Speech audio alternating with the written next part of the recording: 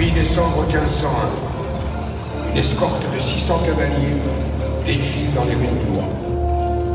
L'archiduc d'Autriche et son épouse, venant de leur province de Flandre, traversent la France pour regagner l'Espagne.